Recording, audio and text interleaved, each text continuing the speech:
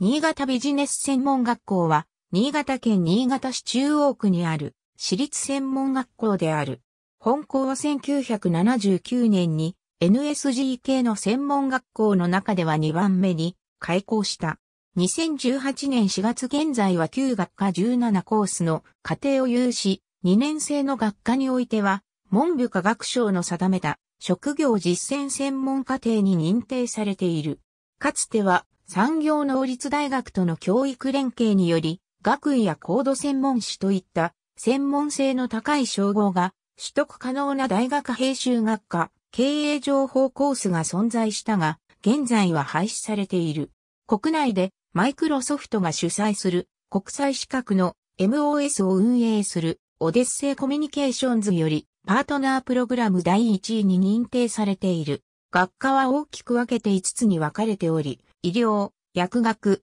商業、デザインイベント運営の分野をカバーしている。本校からは以下の専門学校が本校の学科から分離し、いずれも独立している。誠実、明朗、新志向車内にはバリアフリー対策の一環でエレベーターが設置されており、各教室には部屋番号が割り振られている。歯科医の医療現場を模したフロアや病院の窓口を模したフロア、薬局や医療品店を模したフロアも設置されている。なお、2019年度より同じ NSG 系列で姉妹校の新潟会計ビジネス専門学校が駅南より移転に伴い本校と同じ校舎を共用することが発表されている。本校では現場実習制度が1年生を除く全学科に導入されており、学科に応じた様々な企業などで実際に働きながら学ぶことが大きな特色となっている。また、